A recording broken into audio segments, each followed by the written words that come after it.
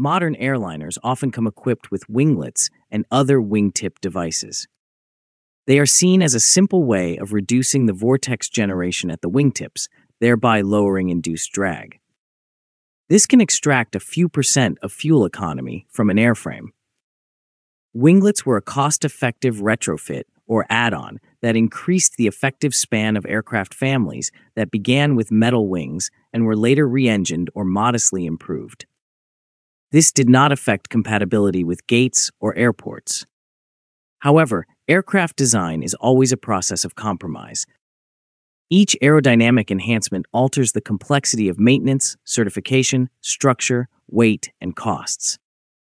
The effectiveness of a winglet in improving efficiency depends on the operator's priorities and the capabilities of the baseline wing.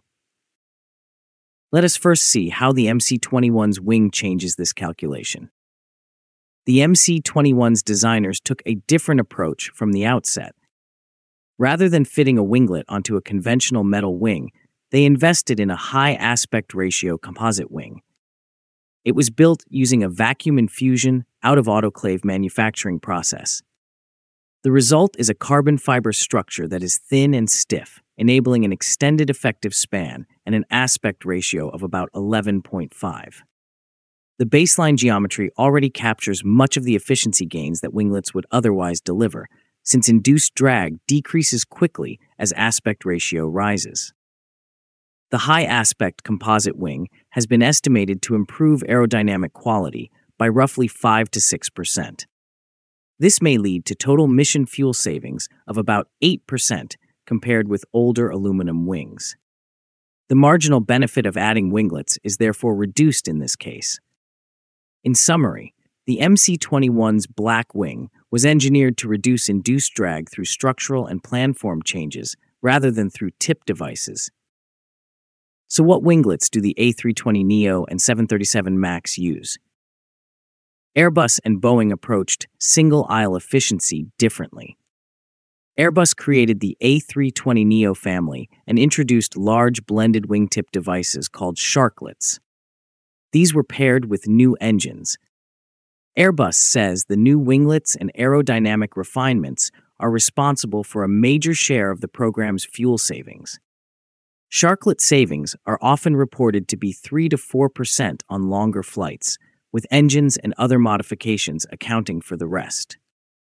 The Sharklet's main benefit is reduced induced drag and greater effective span, especially in cruise. Longer missions capture a higher share of the winglet's advantage. Boeing chose another path. They offered split scimitar winglets as a retrofit for earlier 737 NGs and fitted refined blended and canted winglets on the 737 MAX. The retrofit typically gives modest but valuable savings from 1.5 to 3.5% depending on mission and subtype. The MAX winglets were further refined as part of its aerodynamic package. Airlines often install winglets wherever possible because even small percentage savings translate into major fleet wide value. Now let us compare big wing gains versus winglet gains. Adding winglets to conventional single aisle designs usually reduces fuel use by 2 to 4% on medium to long flights. Retrofit split scimitars give savings at the lower end, while large sharklets designed for a clean sheet airframe can give the higher end on long routes. By contrast, the MC21's composite wing alone is claimed to improve aerodynamic quality by 5 to 6% without any tip device. Studies show that raising aspect ratio by about one unit can cut induced drag by double digits in drag terms and improve total drag by single digits. These gains translate into several percent less fuel burn, depending on weight and mission. As a result, the incremental business case for winglets is weaker on the MC21. The wing itself already delivers efficiency that conventional wings only reach with winglets. Let us now consider the hidden costs of winglets. A winglet does not come free. It increases the bending moment at the wing root, which demands stronger structure or reinforcement at the wingtip box. This adds weight and cost. The benefits of a thin, light composite wing can be offset by a poorly integrated winglet. Certification and maintenance costs may also rise. New wingtip shapes can require structural and aeroelastic testing, new inspection protocols, and sometimes adjustments to handling in crosswinds. These costs may outweigh the small percentage of fuel saved, especially when the wing is already efficient. This is why MC21 designers treated winglets as a reserve option for later, not a requirement from the start.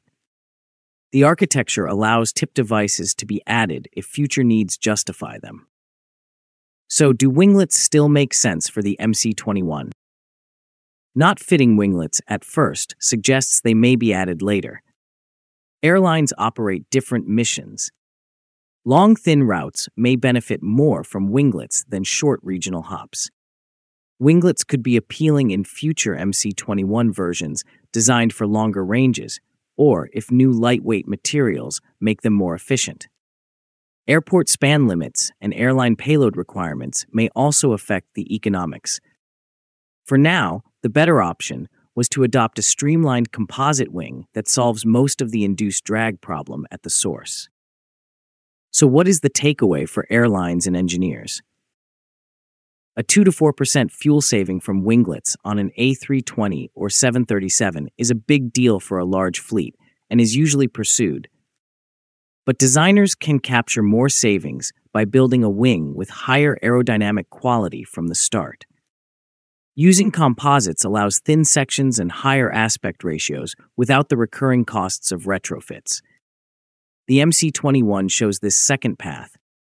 Its design solved the aerodynamic challenge in the wing itself, making winglets unnecessary at first. But they remain available as an option if future economics or missions demand them. In conclusion, winglets are effective tools in the aerodynamic toolbox, but not the only ones. Airbus and Boeing combined winglets with new engines and refinements to gain efficiency. This was especially useful for adapting older metal wings. In contrast, the MC21 uses composites and a high aspect ratio wing to eliminate much of the induced drag in its basic design. That reduces the marginal benefit of winglets. The MC21 entered service testing without them as a practical balance of structure, aerodynamics, and cost yet the door remains open to add them later if needed. If you like this video, please like, share, and subscribe. Also, please take our channel membership, which is very affordable, to encourage us